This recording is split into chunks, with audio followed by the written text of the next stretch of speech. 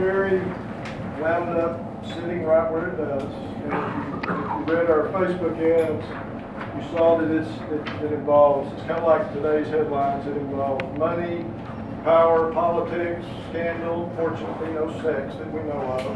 So we're not gonna have to do that. But what I'm gonna do, I want this to be kind of like, since we got a fairly small group, and we are gonna have question and answer at the end, but interrupt me, you know, if there's any questions, since we're, you know, won't, won't be a problem, just raise your hand and we'll try to answer any questions. Um, What I'm gonna do, I'm just gonna give you like a thirty thousand foot overview of what happened, you know, how the events, how the town site was selected.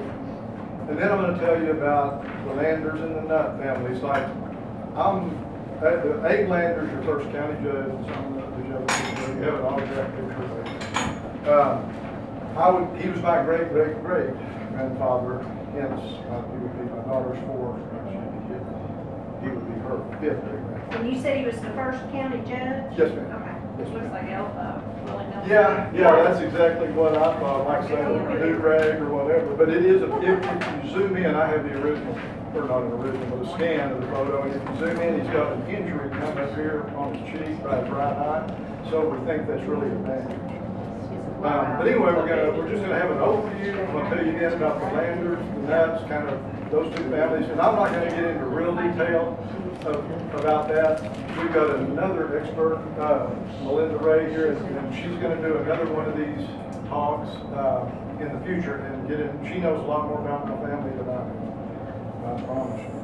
Uh, but then I'm just gonna sort of tell you my personal story and kind of how I came to be aware of this and how I'm connected to the Landers and the. Um, so, Hood County was formed in 1866 by the Texas legislature. They took most of the land from Johnson County and a small part of Erath, and in its original form, it included all of what's now Hood, and uh, Somervell. It included all of current Hood plus what's now Somervell in its original form. Um, The first requirement was to elect the county officials, hold an election, elect the county officials, which they did. And Abe Landers uh, was elected the first county judge. We have actually upstairs, we have a reproduction of the election tabulation from that very first election. Um, Oh, the other thing we're gonna do, kind of when I get through uh, uh, telling you about the Landers and that family, were actually the last two pages in your handout that I've highlighted. We're gonna, we're gonna go over these passages from the Hood County history by Thomas Ewell. I call it the, uh, it's the Bible, the Gospel of Ewell, if you're Hood County history. So we're gonna read over those passages, or we're just gonna kind of unpack those a little bit and see what Ewell had to say about all this. So Hood County's formed, they elect their officials, Abe Landers is the county judge, and the next task uh, is they're supposed to select a site for the county seat, for a place to put the courthouse. And it's supposed to be within five miles of the geographic center of the county. Because obviously travel was difficult and dangerous in those days. The Comanches were still raiding. So travel was a big deal and it was supposed to be located within five miles of the center. So anyway, all of a sudden, people start jumping up wanting to donate land for the new town. Uh, there was a site at Acton, uh, someone at Acton to donate land, or someone at Thorp Springs, someone, uh, the, well, if y'all know where the Peninsula Development is, that was called Stockton at the time, and that's technically, that's the site of where Granbury was before it is now. It was in the development of the peninsula, or right in that area. Oh, and then, uh, another site was called the Center, and it was west of Comanche Peak somewhere. And it was technically probably truly closer to the geographic center. I don't really know exactly where, so it just says west of Comanche Peak. And then there was another site, uh, with Andy Walters' place, I believe it was, which would be somewhere around Indian Harbor, somewhere down there. Again, that would probably be closer to the geographic center include Somervell. So when you hear this, that all these people want to donate their land, you know, you think, wow, these are really, you know, nice people wanting to give away their land. Well, they, I'm sure they were nice people. But the game, it was really real estate. It was, uh, you donate, you own a tract of land, you donate a piece in the middle of your land. oh, and of course, the land, uh, the Lambert Nutt site where Granbury sits, that was one of the competing sites. But the game was, you, you donate a piece of land in the middle of a larger piece of land, and as the town grows, your property becomes more valuable. So I know, you know, personally, you know, when I started kind of reading about this, I didn't tend, you know, I'm thinking of these people on the frontier, you know, living hand to mouth and farming and ranching and fighting the Indians, and you don't tend to think of them as real estate speculators, but they were. And so, anyway, so what they did, so they had an election, and the site that was selected, uh, during that first election was the center, the location. And again, we'll read in more detail about that. I can't remember all the details, but we'll read about it in Ewell there. So they had the, uh, the county officials convene, uh, you know, to declare the results of the election. And before they could do that, Abe Landers adjourned the court and said, no, you know, he just adjourned court. He said, no, not gonna. So that election just went by the wayside. So they had two more elections, and this, is basically the same thing happened. Abe Landers just arbitrarily says no. And the deal was, okay, the Nutt brothers, Jesse and Jake Nutt, and Tommy Lambert, uh, La- Tommy Lambert, this creek back here is known as Lambert Branch, and Tommy Lambert was another early settler, and he owned land kind of to the north and east of Granbury. The Nutts owned kind of west and south around the river. But it turns out that Jesse and Jake Nutt were Abe Landers' nephews. And not only was Jesse his nephew, but he was also his son-in-law because uh, Jesse Nutt was married to Abe Landers' daughter, who was his first cousin. So nevertheless, that, once you kind of get hip to that, it start, starts making sense. So, anyway, Abe threw out all these elections, and uh, people started getting upset, rightfully so, I would think. And so Abe says, okay, what we're gonna do, we're gonna call in impartial commissioners from surrounding counties to, to make this decision. And of course, Abe, I guess, was instrumental in, in getting the, pick, they picked the commissioner from Johnson, Erath, and Bosque. And guess which side these commissioners picked? Yeah, we're now since, which is what Abe wanted to do. So, that's kind of, you know, that's the thirty thousand foot view, that's what happened. It turns out that's a good site to put a town, and, um, you know, the, the reasons they cited for neglect, or rejecting some of the other locations were a lack of water, there's one in the center, which I, I don't think there are any creeks or water sources. So, you know, it's a pretty valid reason for doing that. But the real reason is, is because, uh, Abe Landers wanted, wanted his nephews and son-in-law to prosper. And whatever, however they prospered, whatever money they made from selling all that land, apparently it got frittered away before it got to me. I think I have the deed to two cemetery lots or something. So now, now that you kind of have the thirty thousand foot view, I'm just gonna tell you about the Landers and the Nutt families. Again, this is a, just a broad sweep overview, and then will go into more depth in another visit. But the Landers and families were connected, um, going back to the late uh, 1700s in North Carolina. Then they, they, they kind of followed the westward migration. And, you know, each time they hop to a new spot, some family members, some stay and some, uh, some move on. So they go from North Carolina to Kentucky, correct me if I'm wrong, Linda, then Bedford County, Tennessee, or, yeah, North Carolina to Tennessee. North Carolina, yeah, there, Kentucky's in there briefly somewhere, because I Yeah. think Gabe was born. Yeah, way out Yeah.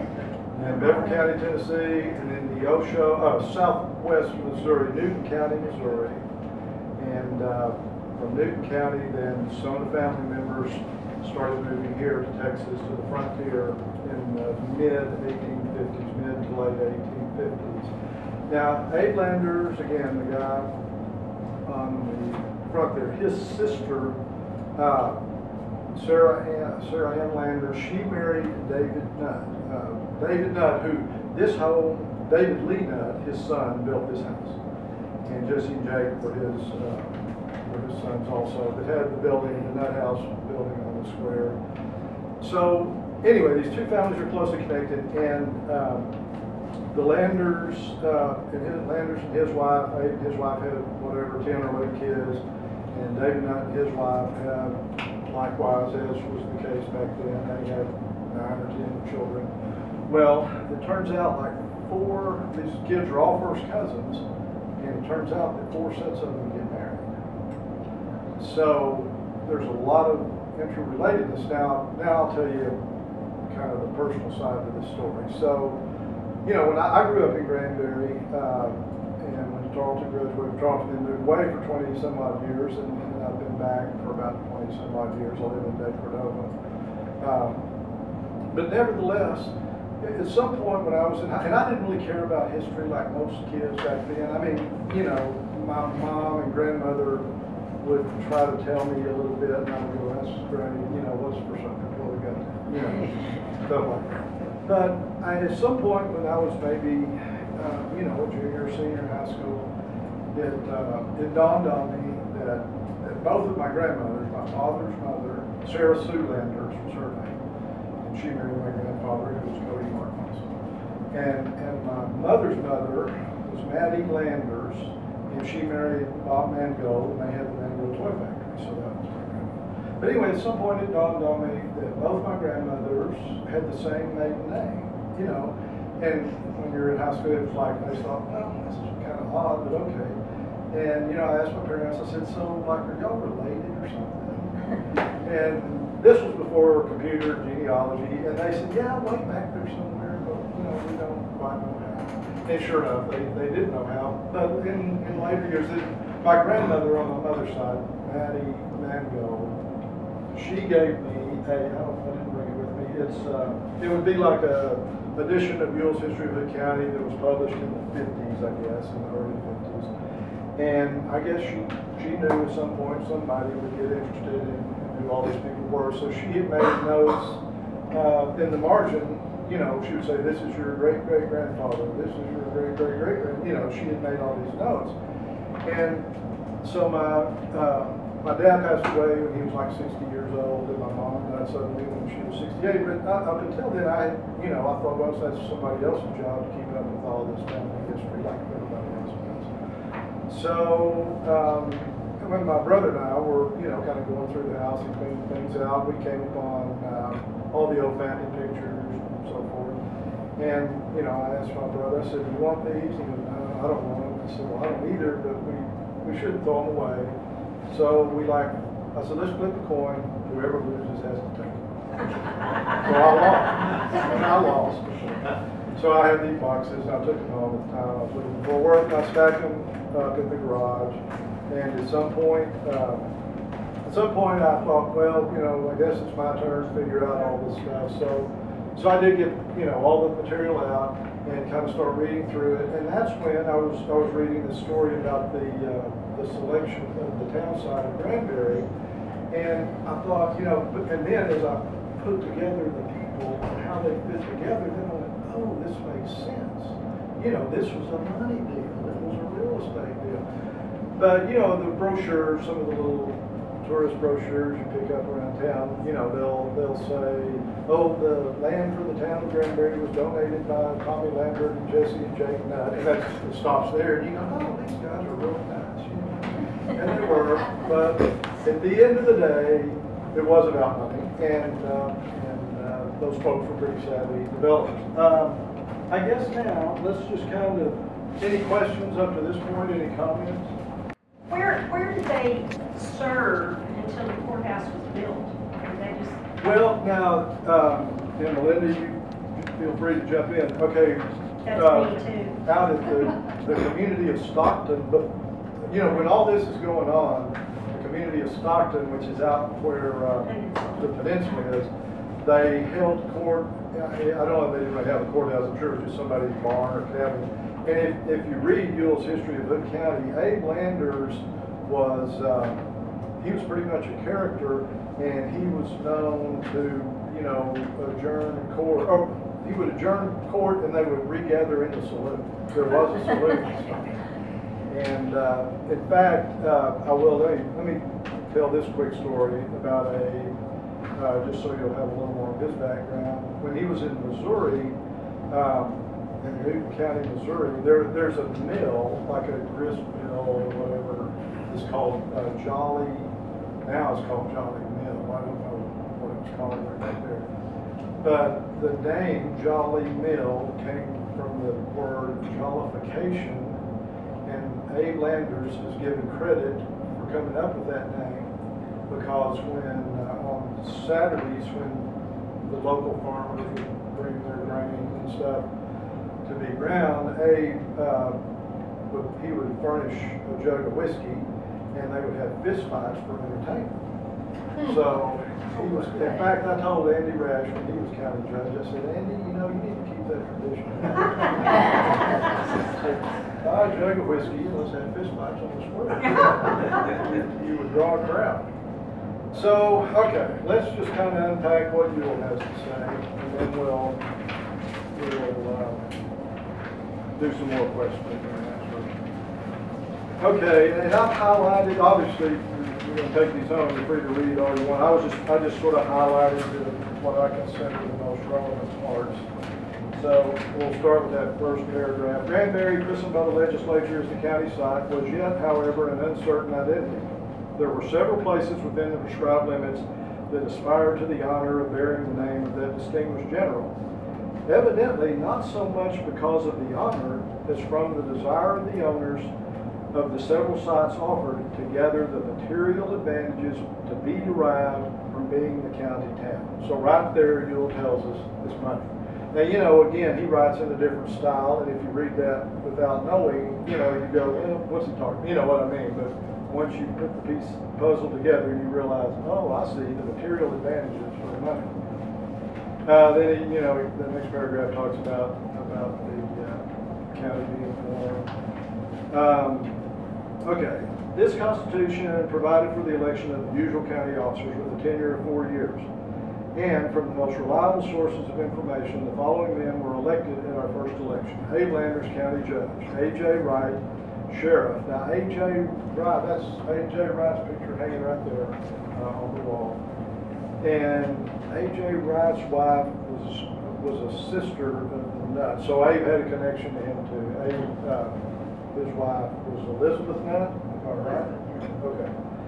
Um, Alex McCama was clerk of the county uh, court, John Morris, district, oh, Peter Garland, treasurer. Okay, Peter Garland, and that, he's gonna be a good topic for another visit like this at some point. Okay, uh, David Lee who built this house, his wife, Sue Garland, Nutt, her maiden name was Garland. She was Peter Garland's daughter, her picture right there. And Peter Garland, he was, uh, he was involved, I won't get into it a bunch, but he was involved in an Indian, a massacre basically up near Palo Pinto County. He was a well-known Indian fighter and it, it involved uh, Texas Rangers and Rip Ford, Rip Ford, R.I.P. Ford, they called him, and the governor of Texas. It was a big deal.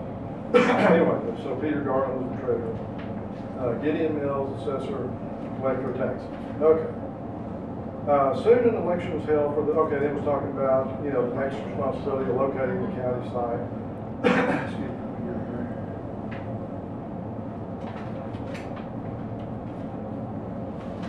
Okay, so soon an election for that purpose was ordered. Several places which stood as candidates were the center, that's the one I was telling you about west of Comanche Peak, understood to be just west and near Comanche Peak. Thorp Springs, Stockton, Lambert's Branch, and the site offered by Andy Walters at its place on the river east of Comanche Peak. At the first election, the center was carried by a large majority, but the result of this election being unsatisfactory to those in power and influence was for some reason not officially declared. And it is said that when the Commissioners Court presided over by Judge Landers met for the purpose of ascertaining and declaring the result, the final act was averted by a preemptive order from him adjourning the court. So that's what, that's what I was telling you about. He just said, no thanks. We're not gonna do that. Um, I'm not gonna read that whole next paragraph, just the part that I've highlighted.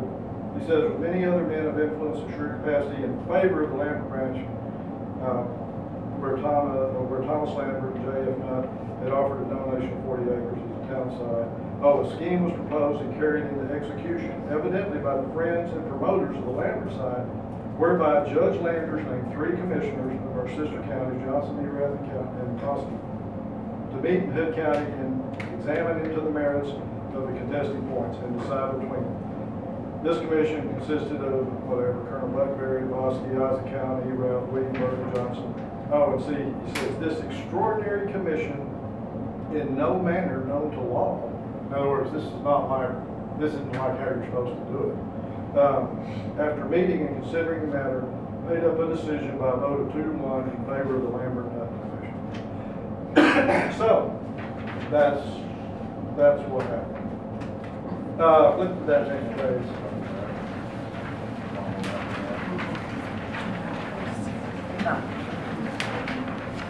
Um, okay, again, I mean, I encourage you, when you get home, read the whole thing and make a little more sense. I'm just trying to hit the highlights here. This long contest was not only animated, but in some measure became acrimonious, engendering bitter feelings between some good citizens. It had its subsistence only when they were no more. In other words, these people stayed mad until they died, I guess.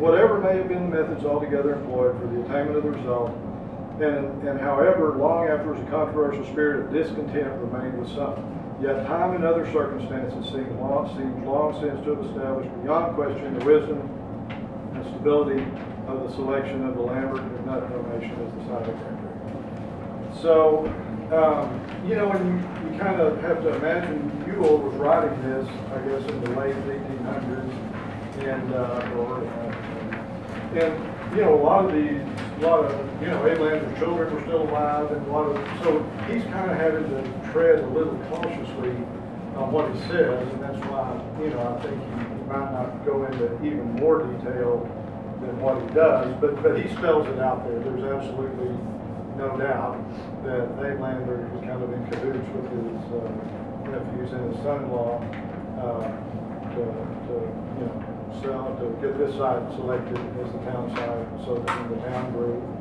uh, they would prosper. So, questions, comments, observations? the proximity to the river then, so people could travel. Well, yeah, I mean, you know, the other sites that were contending, I don't know exactly where all of those were, but it's, uh, you know, it turns out that, you know, obviously water back then a big deal, but I mean, back, they could dig wells, I guess, back, you know, rock lined wells back then, but it was difficult.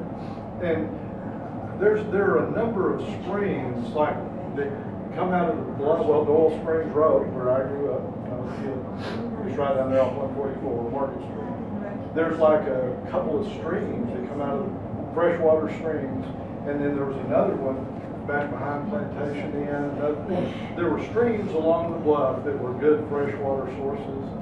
And in fact, that's why I grew up uh, hunting areas also along the bluffs on the Brazos.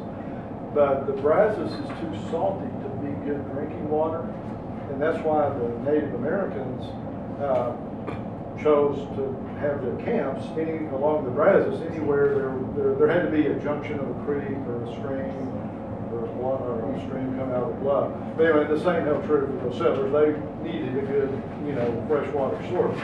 So ultimately, you know, it is a good site, you know, and now the others may have had good water sources up too. Now the one known as the center, that's what those commissioners, uh, said was their reason for not picking it, was because of the lack of water.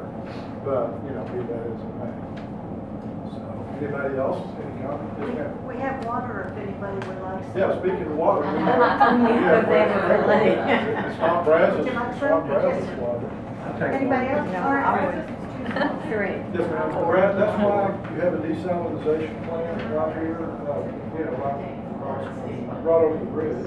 The city of Granbury, they have to desal, take the salt out of that water before it's drinkable, you know, like, uh, one of the forks of the Brazos is known as the Salt Fork out in West Texas. Uh, it picks up salt from the soil. And again, like some of the other creeks around here, like the Paluxy and the Leon River. Yeah. Leon, You're welcome. and, uh, it runs from like Eastland down to, uh, Coryell County down there. The Leon is better water, so there were a lot more Native along the Leon than there are the because the original. And that's a topic for another story, but I'll talk about that too. I'll get you back here and tell you about the uh, archaeology along the Brazos River. But that's not our topic today, so, so, yes, sir.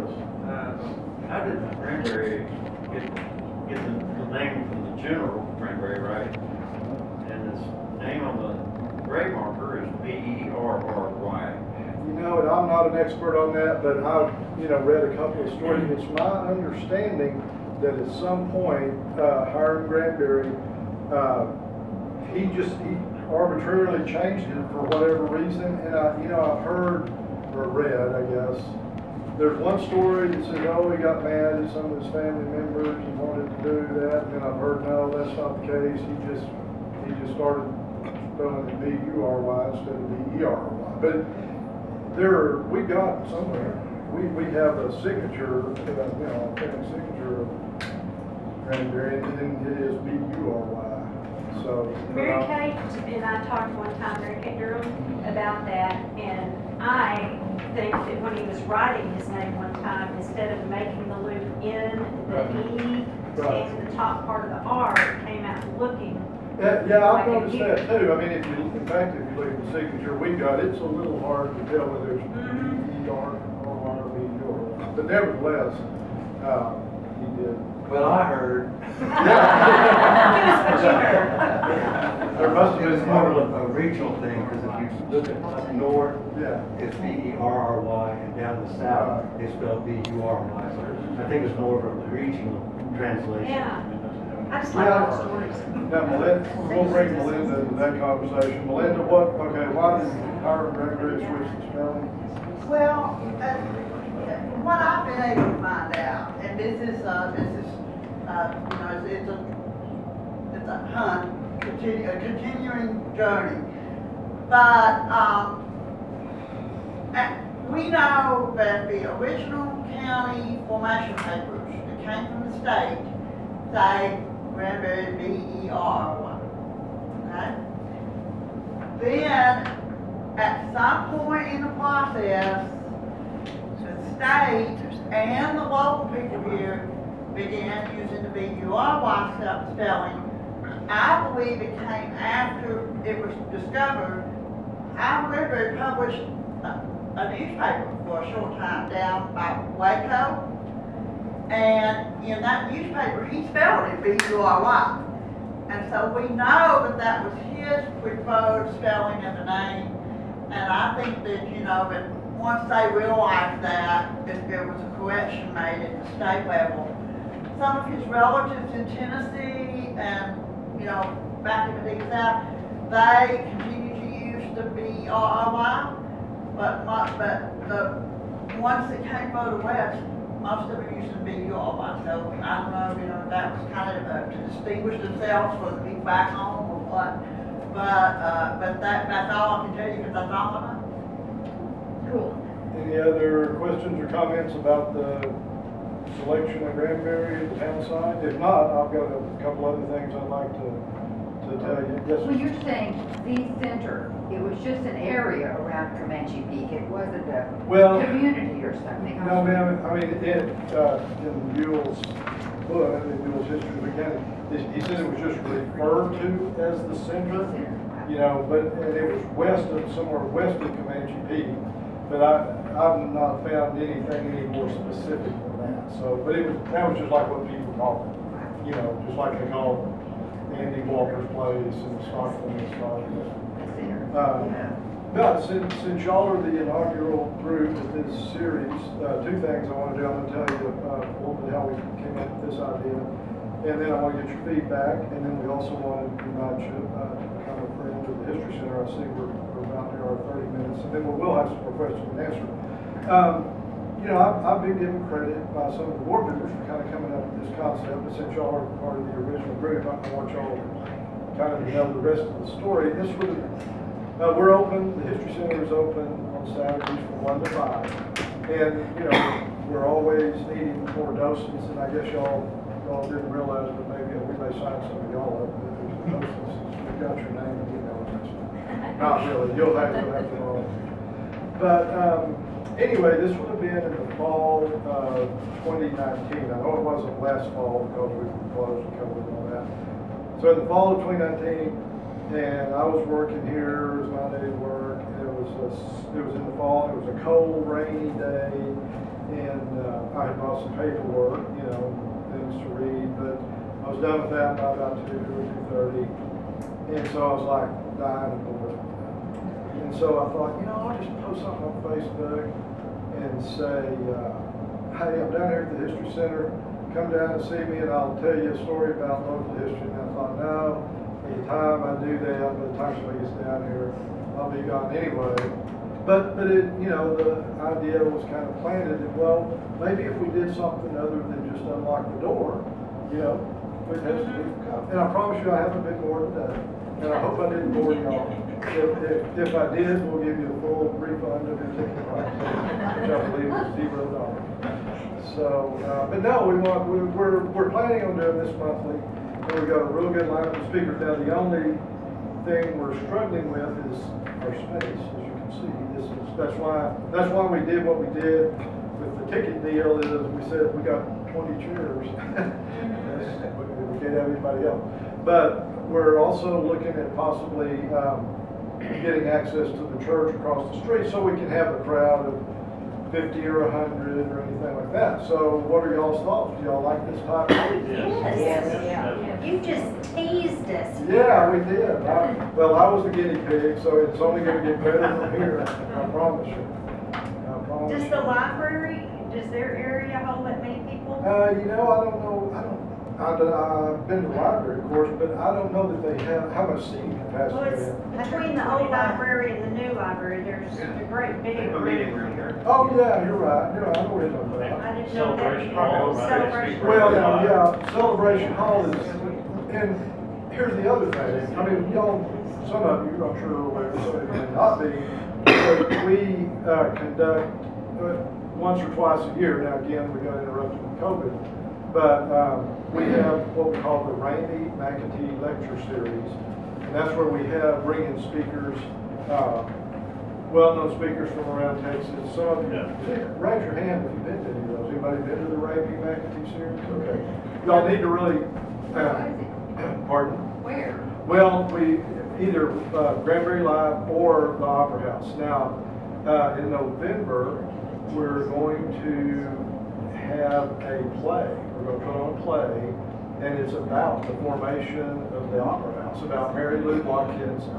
You know, Mary Lou ringing the dinner bell at the restaurant square. I'm gonna, oh, September, correct, okay, wait. When is, when is, there's Harrigan and there's, uh, and there's Opera House, I get it confused. This is Teresa Sim, she's on the board, and she's the smartest person I know. No, not the smartest person I know. But, uh, we're doing a play at the Opera House about restoration of the Opera House. Because when Cody and I graduated from high school in Granbury, the Opera House was uh, a tomb. I mean, it, hole in the roof, dirt on the floor, lived in there, it was a mess. And so it didn't always look like this. And, uh, so it's an awfully wonderful story about how the Opera House was restored and the people came together and did it. And there was no government money in it. It was just a wonderful story. So that will be the last Sunday night in September. I think it's the twenty-sixth or something. Yeah. And the first Yeah. two Sunday nights in October, like the third and the tenth or something. And it's at seven o'clock and you'll be able to get tickets for that through the regular Opera House ticket mode. So, so that's September, October, October. And then what Cody was talking about is uh, Stephen Harrigan uh, was an author and a news a magazine contributor many times, and he wrote this big book. It's about this big, you know, it's like this, and it, it's called The Big Wonderful Thing. And it's the story of Texas history from when God created the earth. I. Mean, it's so inclusive. It's just a wonderful story. And Stephen is coming on Thursday, November the 3rd, and uh, doing a, the fourth, uh, see, it takes all of us, for the community, the November the 4th, Thursday. Uh, and so we're gonna do that at Granbury Live, and then after he reviews his book, we'll have a book signing and the wine and cheese thing. And then, uh, Saturday and Sunday right after that, November sixth and seventh, will be the Granbury's hundred and fiftieth birthday party celebration, uh, sesquicentennial, and it'll be right across the street at Langdon Square. So Cody mentioned about uh, Friends of the Bridge Street History Center, and it is a membership uh, organization. It's got small dues, but it does help support uh, the History Center.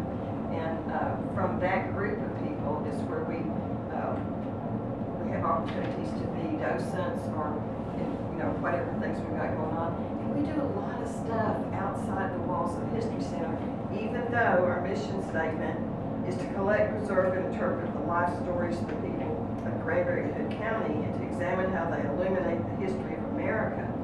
That doesn't mean that it has to start in this, in this room, in these rooms. I mean, we do have some artifacts, but we're a storytelling museum. So, I mean, we had a Civil War symposium a few years ago, and, uh, we, we took a bunch of people, well, it was just the friends that got to do this. Uh, Elizabeth Crockett's land that she inherited because David died at the Alamo is out at uh, John and Becky Brumley's property. And it's their private property. They own all of the land that Elizabeth inherited. And so they allowed the, us to bring the friends out there and have a wine and cheese party and to crawl all over the buildings and go down to the baptismal at the creek and see the school spot. And it was just, you know, an honor to get to be able to do that. But that was just for the friends. So, bait, bait. Yeah, yeah. Anyway, so we do a lot of things for that. Um, One other thing I wanted to ask you to do when you leave is, uh, right to the, this side of the front door is our guest book. And uh, if you'll just put your name, you don't have to do any other, you know, identifying information. We just like to see how many who came, stuff like that. So please sign the guest book. And does anybody want a friend's application? Yeah, sure. What is it? It's Um, an application for becoming a friend of the Bridge Street History Center. acclaimed historian. Well, she knows all the buildings around Granbury, she has, let me look. No, no, I just noticed. Okay. Okay, but we're gonna let, Mary's gonna be one of our presenters at, uh, the local meals by local folks. So I'm gonna let her give you just a, a brief summary of what she's gonna do. It, it, next month, I want to give a teaser for the next one good. in case you want to come back. What I, what I'm gonna call it, I think, see what you all think, is, um, a special sense of place. What led about the building of Granbury, the building of Granbury, the way we know it now, the people and the culture led to this special charm that we all love. So that's what I'm gonna talk about. The, the way the square looks now, what led to that, the buildings that are there, what led to the buildings that are here today. And then, um, I don't know if Melinda wants to talk about the follow-up in September. I'm gonna be following Mary and, um, we're gonna backtrack a little bit because between A and what Mary's gonna be talking about, there was the Great Granbury land dispute. And basically, uh, what I'm gonna be talking about is what, what caused Granbury to be about ten years later in developing those wonderful buildings we have because of this big blah that happened. Uh, and, uh, we're, we're gonna, you know, we're gonna talk about, uh, basically how it all came to happen from the time that A was county judge, moving forward for about the next fifteen years. And, um, it, it covers, you know, the beginnings of the town of Granbury and the establishment of a square and all that happened. And so, so that's what we'll be doing, uh, in September. So, hope, hope to see a lot of you there. Um, okay, we we've taken about forty-five minutes, which is kind of what we were planning on, unless there are more questions or observations, I then. just have one Y'all question. I'm fire- at questions. Fire away. Uh, when we first moved here back in eighty-three, the St. Helen building, I I literally had to shop for books in there with a flashlight because there was like two single bulbs hanging. And an old woman, I mean, she was old. Oh, yeah. Clara. They lived down across from the, the library, Uh-huh. had cats. Yep. Clara, Uh, yeah. yeah, that was so unique, I just It loved was, it. yeah. Uh, I found a book I'd been searching for, Magnificent Obsession. Well, I What was can- her last name? Clara, uh, I can't Her son had a GTO in the front yard. Yeah, I remember. I can tell you where she lives, but I can't tell you where, yeah. what her last name is. Well, I can't remember her What last name, building but was she it was in? there for years. What building was it in? Uh, St. St. Helens. Helens. St. Helens. She lived over next to Terry McNew, over by Yes, the library. yes. Well, I'll tell you one last story, personal, you know, since we're talking about old time Granbury. When I was, I guess this would have been in the mid sixties, I was in my teen years. And well, it was kind of when skateboards were invented, but you couldn't really buy one, you had to make them. And so my buddies and I, we would take roller skates, steel wheel roller skates, and bolt them to a board. Did the same thing. Did you? But you know what happens, like if it hit a pebble or a rock, it like stops. So we figured out that the hallway at the courthouse was linoleum tile. So on Sundays, we would go down to the courthouse, and I don't know if you look down at ground level, there's these little windows, and a couple of them were missing the grades on them. So we would, we would crawl down into the basement of the courthouse, we would come up through the trap door under, and we would, uh, do our skateboards up and down the hall at the courthouse, and people would see us coming and going, crawling into the courthouse, and they'd wave. Bunch of kids breaking in the courthouse. Yeah, Graffitied it. Yes, ma'am. Uh, one on the, go, if you're not through. Uh, No. But I was gonna share a Yeah. story about the courthouse also. Oh, sure. I grew up in Granbury. And, um, when I was growing up, we would come to town on Saturdays and go to the Palace Theater. And sometimes afterwards or before, we, to kill time, we'd go play at the courthouse. Oh, yeah. And about, when they restored the courthouse a few years back, however many years it's been, ten maybe, something like that, they restored it, went in and, you know, replastered all the walls and everything. They took all the plaster off of the walls upstairs, and there were names on the courthouse wall. As it turned out, it was four of us classmates. Oh, my And they contacted us, the person that, uh, worked, one of the persons that worked in the county. It was myself, Glenda Smith, I don't know if any of you know her, Jill Thompson, Yeah. and, uh, I can't think of the other one. What's your name? Barbara Lewis, used to be. I graduated in fifty-nine from Granbury High School. Okay. But anyway, it was so unique, and I have pictures, I did, I should have brought them. Oh, But I I have pictures, we went up there, the four of us went up there and took pictures of our, you know, standing there with the, by the signatures. And they never did catch us. I wish, did they leave it uncovered? No. Oh, that would have been unique. Yeah, They- they did get some pictures, didn't they? Yeah. Yeah. Oh, oh yeah, we took uh, pictures. yeah. But, Well, I uh, guess- the other thing, real quickly, Oh, no, I was gonna share, uh, I lived in this house, In this in this house, How really? when I was nine and ten years old. What was year- this? What what was? It was, um, I, we left, my family, we rented it, and we lived in the entire downstairs, and a family lived upstairs. Huh. And, uh, we lived there about probably a year, we just rented it. Mhm. And, um, I, I haven't been back, since I've been back in Granbury twenty years ago, I have not, this is the first time I've been back Oh, to okay. see The inside front room it. is her bedroom. Yeah, the front room is our bedroom. You know, my mother, the Mangolds, uh, lived here, and I don't even know the years. It it would have been late thirties, forties. Yeah, But so they it's rented later it for too, me. yeah, Bob Uh-huh. Mangold and my grandmother, Patty. Do you have an original stick horse? Yeah, I was gonna ask, was know, it mine, the State the, Force? no, mine is at the Hood County years ago. I didn't, I didn't have any, and, uh, my aunt, uh, had one and gave it to me. And it's now at the Hood County, the other, the Hood County Museum. I, I like that. Now, Jay Caraway has several original Mangold toy companies. They featured Oh, that not too long ago, in. I say not too long ago, it's probably years, paper. They had a big article about that.